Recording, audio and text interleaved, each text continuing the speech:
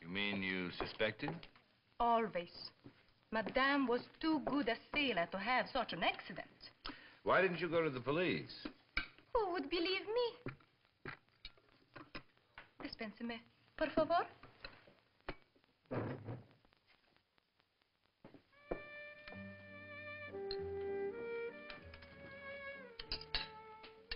That chili's pretty hot, Paul.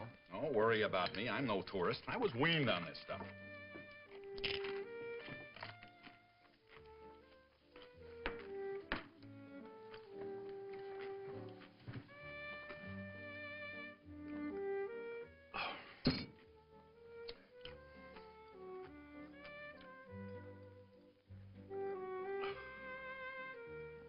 You all right? Yes. Listen, Paul. You know, it may be a minority opinion, but I feel sorry for Karen Alder, the lonely alcoholic. She had to be drunk when she killed her husband. No, I think she was sober. And with a woman like Karen, that's far more deadly than drink.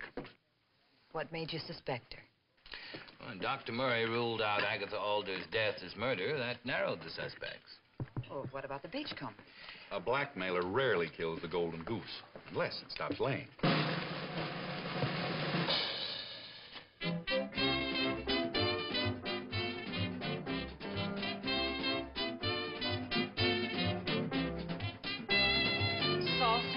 Mmm, please.